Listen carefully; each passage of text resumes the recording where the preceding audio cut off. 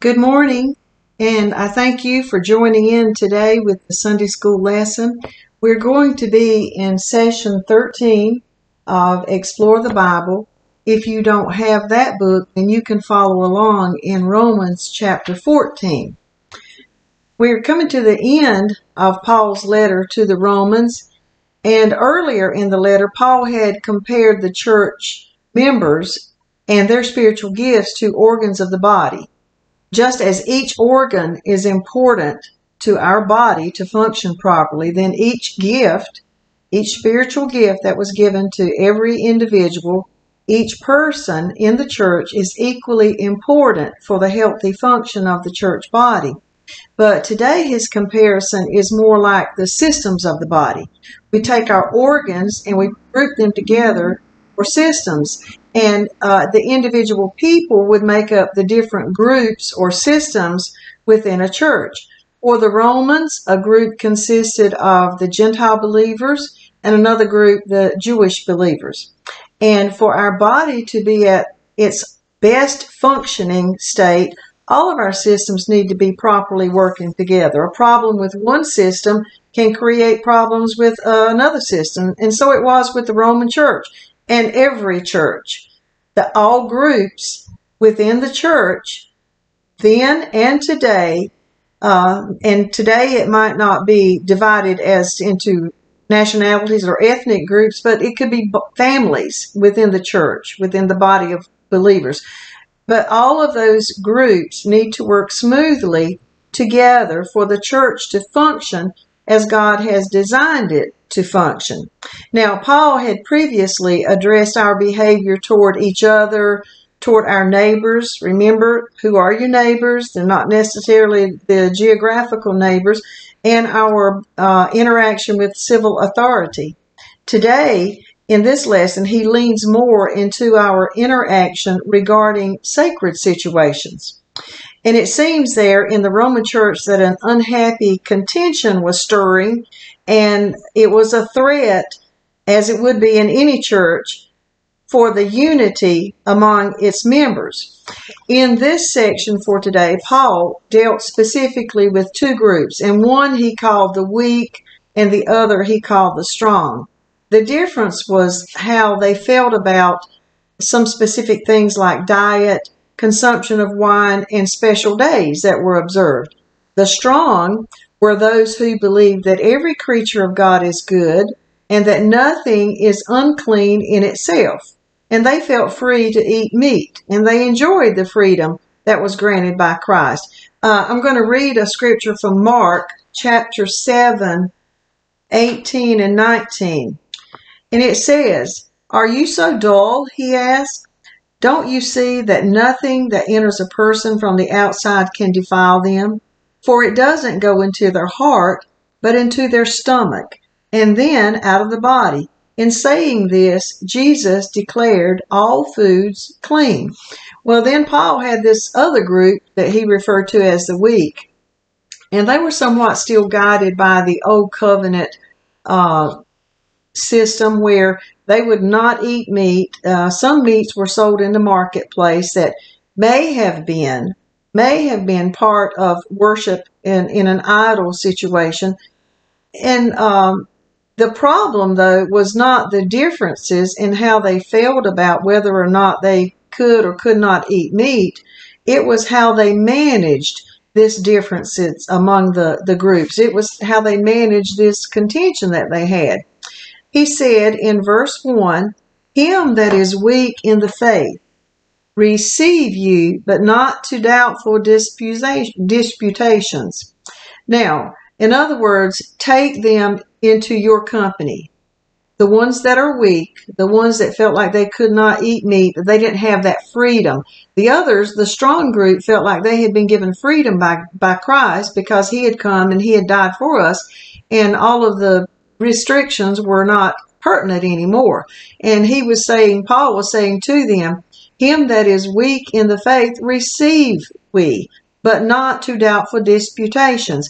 In other words, take them into your company or your circle of friends. And you're not doing it in order to uh, expose them or to argue with them. He said there's no need in arguing. See how many, how much you've ever won from an argument.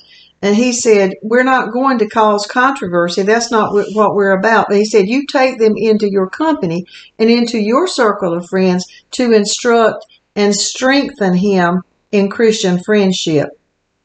In verse 2, it says, For one believeth that he may eat all things, another who is weak eateth herbs.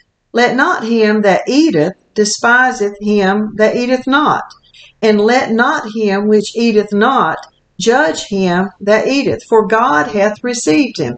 Those that were strong knew their Christian freedom, and they kind of looked down on the ones that were weak. But the ones that were weak, on the other hand, judged the strong ones as uh, loose Christians or Christians that didn't have high standards or morals. So actually, both groups behaved in ways that did not display Christian love. Remember last week we were told if you love, then that fulfills the law. And they were not displaying that kind of love within the church in Rome. He said uh, the self righteous pride of the strong and the judgmental attitude of the weak was condemned both by Paul. And his reason was that God had received them all. God has shown each of us his grace and his acceptance, which is what we're obligated as Christians to do to others to accept we all belong to God and we're all accepted by God. So Paul was saying their attitudes, it's not that they had a difference of opinion or differences in their beliefs about whether or not they should eat food. It was the way that they handled that difference that became the problem. And then in verse 4, he asked a rhetorical question Who art thou that judgest another man's servant? The weak and the strong Christians are brothers in Christ. We're all brothers together. And we are not servants one to another. We are not, we, they're not, we're not, they're not our servants. We're not their masters. And if we try to judge others, then it's almost like we're trying to remove God from his throne and we're taking over his authority because he alone has the power to judge any of us. He says, who art thou that judgest another man's servant? To his own master he stands or falls. Yea, ye shall be holden up, for God is able to make him stand. Just as we are not to judge others, we are not accountable to or judged by others except God. Now, if you feel a need to judge, let it be within yourself. If we're going to judge any one person, let that person be me if I'm the one that's going to judge. Now, the second example of contention was an observance of special days. Some of the Jewish believers still held to the ceremonial days from the Old Covenant. The Passover, the Pentecost, there was an observance of new moons, and the Feast of the Tabernacle. And then there were others that believed that these special days actually were abolished with Christ coming and they didn't deem them necessary anymore. They thought that one day was just as special as another day. And Paul didn't choose sides with these people. He said, if you believed uh, the observance was needed and it was to God's glory, then observe the day. But on the other hand, if you believe that each day to be special and none more than the other, then glorify God in that. But now all of them observed the Lord's Day. That was without question. We still have the Lord's Day that we observe. And he, uh, Paul contended that our goal is to honor God. And it's our motive that drives these observances and not observing of the special day. Just like anything that we do, is our motive that is what is that's what's more important. In verses five and six, he said, One man esteemeth one day above another, another esteemeth every day alike. Let every man be fully persuaded in his own mind. In other words, carefully think through your position on this particular item and put it into practice. You can't stay on the fence. You have to decide, well, do I need to observe the special days or do I not?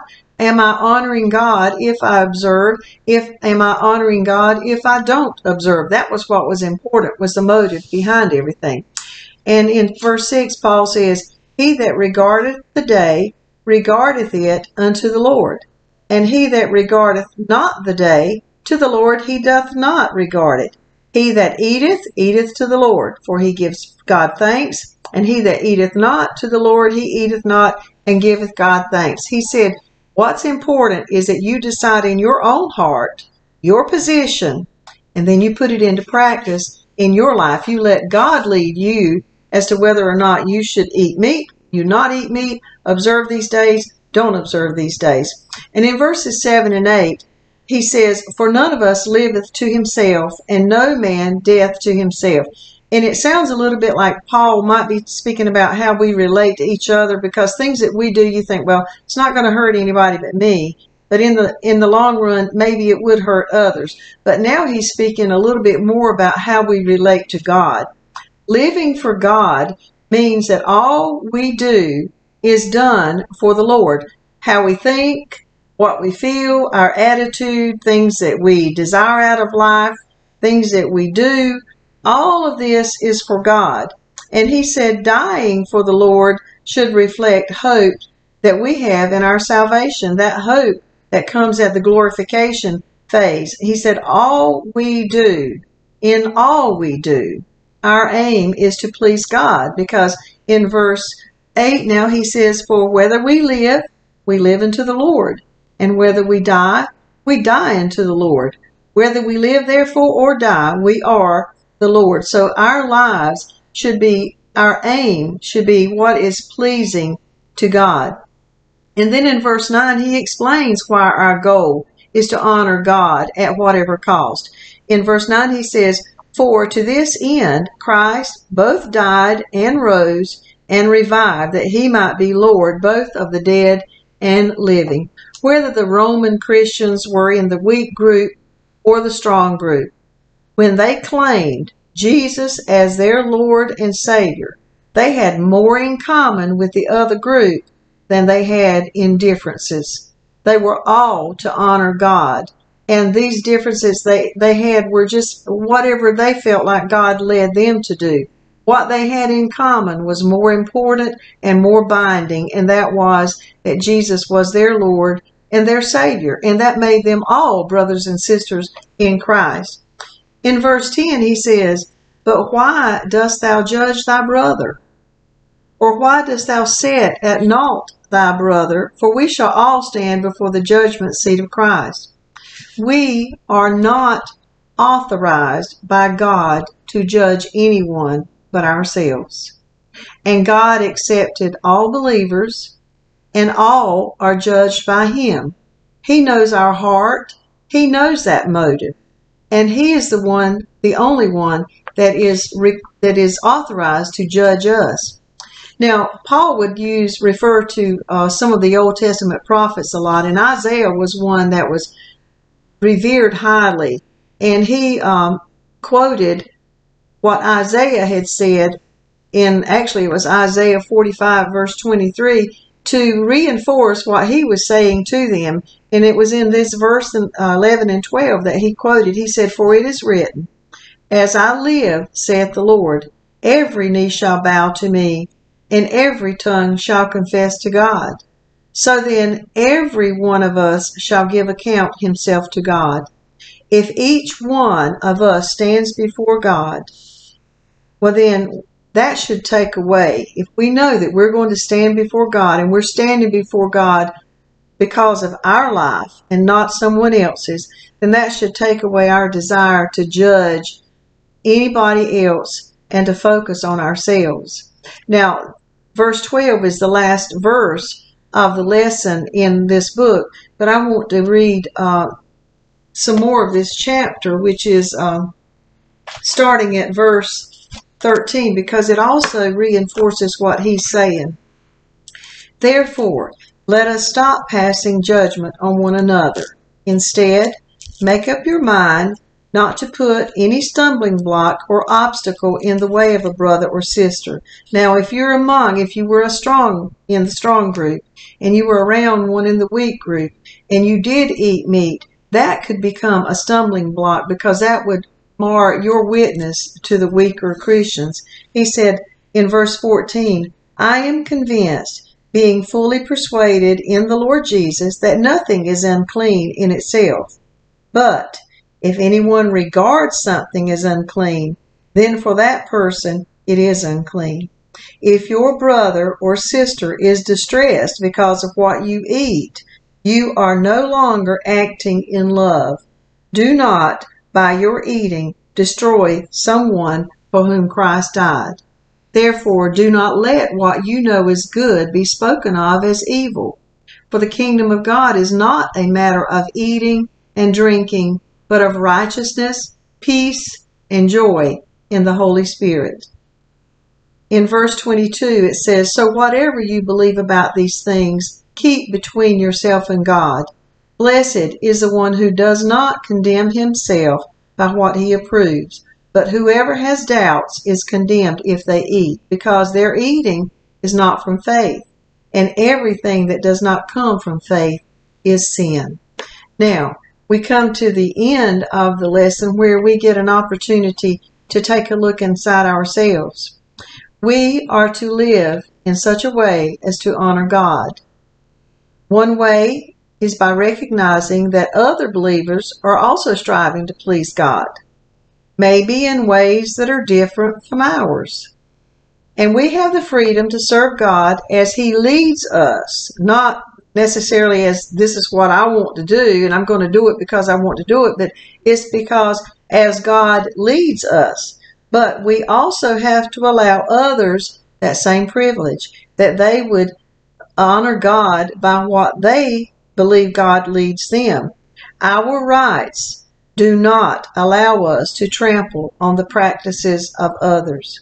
So what we have to do now is examine our own life for areas where we might need to be a little bit more understanding of other believers and their practices. Because remember, we're not to judge them. They're going to be, they're going to face God.